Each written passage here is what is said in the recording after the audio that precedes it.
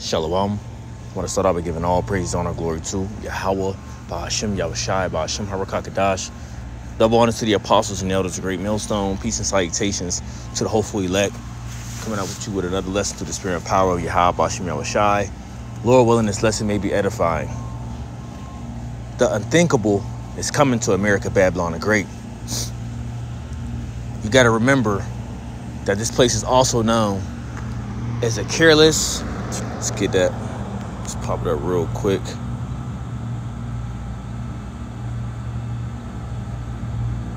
Let's see. Zech- Zechariah, just want to um, whew. I'll read this one, the book in Zephaniah chapter 2, verse 15.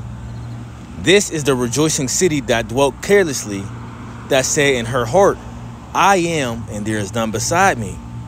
How has she become a desolation, a place for beasts to lie down in?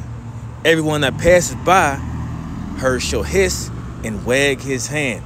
Because this is what's coming to America, Babylon the Great. This also ties in with Isaiah, the 34th chapter, when it talks about how this place, this city, and we know it's talking about the great whore that sitteth upon many waters, right? The great whore represents America, Babylon the Great. The waters represents the nations because we know America, Babylon the Great, it's on top. Okay, it actually has the control of the other nations. Okay, but it has and it has the mindset of I'm a, I'm on top and I'm never going to fall. All right. So this is that rejoicing city. What does this this this place rejoice in? This place rejoices in wickedness. This place rejoices in great pride. The you know we I am and, and, and we are right the only standing nation. Okay, on a planet, right? No one, no one can mess with us, right? But see, what we are starting to witness is it's going into Ezekiel, the 38th chapter of Gog and Magog. You know, that's going into Russia, okay? And the nations joining sides with Russia because as Russia is going to be a guard into these other nations. See, this is all biblical prophecy. You see, so when I say the unthinkable is coming to America, America, Babylon the Great, you know, when you think about uh, uh, desolation, when you think about a uh, war, what do the people say? They say, you know what? America is going to continue to stand, right? They say Babylon the Great is going to continue to stand, but the Bible says otherwise. All right? The Bible says otherwise. All right? Let's read this one in one in Isaiah chapter 7, it says, And thou saidest, I shall be a lady forever, so that thou, so that thou didst not lay these things to thy heart, neither didst remember the latter end of it. Therefore, hear this now, or hear now this, thou that art given to pleasures, that dwellest carelessly, that saidest in thine heart, I am, and none else beside me. I shall not sit as a widow, neither shall I know the loss of children. But these two things shall come to thee in a moment and one day the loss of children and widowhood. They shall come upon thee in their perfection for the multitude of thy sorceries and for the great abundance of thine enchantments. That uh, Babylon is all about sorcery. Babylon is all about uh, uh, deception. Okay, that's why the scriptures say, "Woe unto them," right? Woe unto what? Let's get it. Let's get the one in Nahum, chapter 3. Nahum, chapter 3, verse 1. Woe to the bloody city. It is full of what? Lies and robbery. The prey departeth not. Okay? And America is a, is a place that conducts nothing but bloodshed. Even when they go to other places around the world, they conduct nothing but what? Bloodshed. All right? Let's jump to verse 4. It says, Because of the multitude of thy whoredoms, of the well favored harlot, the mistress of witchcrafts, that selleth nations through her whoredoms, and families through her witchcrafts. You see, a lot of things that America have ob- obtained was by what? Not only by the sword, but it was also behind what? Deception. You see? He always brought more more of the times he brought the deception before he brought the sword because he wanted to make you feel like, you know, he he was a he was a he was an ally to you, okay? Or there was some just type of agreement where you know, where y'all can come together and and you know, basically piggyback off one another. But really in his mind, it was to undermine you. So he can what? Take everything that you have or destroy everything that you had. Whatever purpose he had in his mind. Right? Verse 5 says, Behold, I am against thee, saith Yahweh of hosts, and I will discover thy skirts upon thy face, and I will show the nations thy nakedness, and the kingdoms thy shame. And this is what the people are about to see. Right?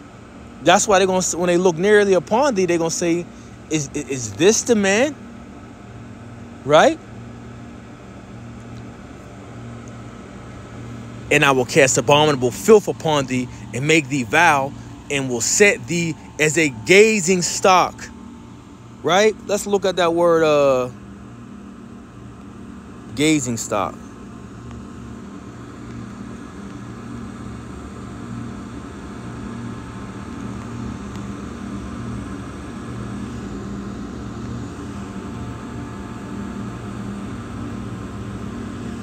Not mistaken, I believe gazing goes on to looking upon something. Gaze. Yep, like I said, so when you do gaze, to stare, to look steadily, intently.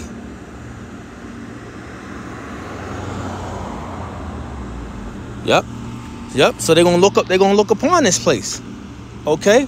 And this place is gonna be look they're gonna look upon this place and in, in uh scriptures talk about let's, let's, go and get that what's revelation 18 i wanted to go to revelation 18 anyway but i want to get to the point. Um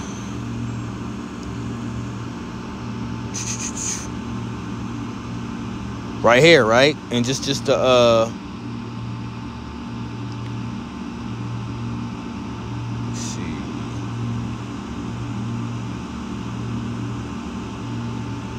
Salakia. Verse 15 it says, The merchant of these things which were made rich by her shall stand afar off for the fear of her torment, weeping and wailing. Because remember, you got to understand, uh, uh, Babylon a great. This is an importing country. This is not an exporting country. Everything that you see, the majority, eight, I'll say eight out of ten. Okay, I might even be nice with that number. Of all these things that you see, okay, that you uh, uh they're all imported. Well, you'll you'll see things uh, uh, made from China, made from Taiwan, made from Italy, made from Portugal, made from uh, uh, wherever. Okay, you could just walk around a house and you'll just see made from nine times out of ten of things that's that you have in your home that you can go look through. It will not say made in the USA. No. Okay? Not happening. You see? But see, these are the nations seeing the destruction of America, Babylon, and Great. So, like I said, and I'm gonna probably do a series through the Spirit. The unthinkable is coming, because the mindset of the people is is that nothing's going to take place. There ain't gonna be no destruction here. If there was World War III, uh, uh, Babylon would be able to win. Okay, you know, there's, there's not going there's not to be no economic collapse. You know, won't be this, won't be that. Nah, you you people have a you have another thing coming. All right, so now let's go. Let's go here, verse 2. It says, And he cried mightily with a strong voice, saying, Babylon the great is. I'll start at the top. And after these things, I saw another angel come down from heaven, having great power, and the earth was lightened with his glory. And he cried mightily with a strong voice, saying, Babylon the great is fallen, is fallen, and is become the habitation of devils, and the hold of every foul spirit, and the cage of every unclean and hateful bird. This this didn't happen yet right? Because Babylon the Great is still what? Thriving. You see, I'm talking right now here in America, Babylon the Great. But I'm, I'm, I'm going over the scriptures of prophecy that this place is going to be inhabited by desert-like creatures, as is stated in Isaiah the 34th chapter. So when you people talk about, you know, the Old Testament's done away with this and that, no.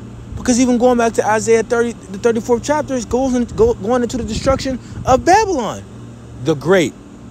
Okay? The U.S.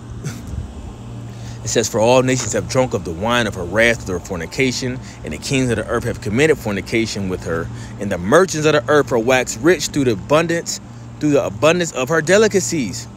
You see? So they all have drunken out of this golden cup. You know? They all have drunken of this golden cup full of abominations. You see? In these nations, they have waxed rich. Okay? Through having dealings with Babylon the Great. But when you have dealings with another nation, or people, right? There are agreements that you make. Okay? And now the nations are starting to see like, yo, we got effed over. Okay? We got effed over. So now the nations are pissed. Now they're starting to align themselves with each other and trying to find a way to X out Babylon. Right? So it says, and I heard another voice from uh another heard another voice from heaven saying, Come out of her, my people, that you be not partakers of her sins, and that you receive not of her plagues. You see, now this is talking about the elect being beamed up. Okay? The elect is being going to be beamed up upon what? Onto the chariots. All right? For her sins have reached into heaven, and the Most High have remembered her iniquities. You know, so that spirit, like I always say, the spirit that they say, you know, God bless America, this and that. No, the Lord says, what he have remembered her iniquities, and her sins has reached reached up into the heavens. Okay, this is how much madness and wickedness America Babylon the Great has done and has promoted now, now, now that this thing is going all throughout the world. Okay, it just shows you the, the, the power that Babylon the Great had. Okay? Reward her even as she rewarded you, and double unto her according to her works, and a cup which she had filled to fill to fill her double. How much have she glorified herself and lived deliciously? So much torment and sorrow give her. For she said in her heart, I see the queen, and I am no widow, and shall see no sorrow. Like I said, going back to that, the height of, of, of Babylon the Great's pride, you know, that we can't be effed with, can't nobody touch us, you know. And, you know, if someone did try to, you know, go to war with us, we gonna win. We we we for sure that we gonna win. No doubt about it. But little do you know, biblical prophecy says otherwise. Okay, it's talking about the fall and destruction of Babylon the Great, meaning you're gonna lose. So verse 8 it says, Therefore shall her plagues come in one day, death mourning and famine, and she shall be utterly burned with fire, for strong is the Lord, the Most High, who judged her.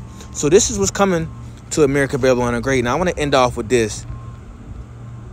All right, the book of Isaiah, chapter 54, verse 16, it says, Behold, I have created the smith that bloweth the coals in the fire, and that bringeth forth an instrument for his work. And I have created the waster to destroy.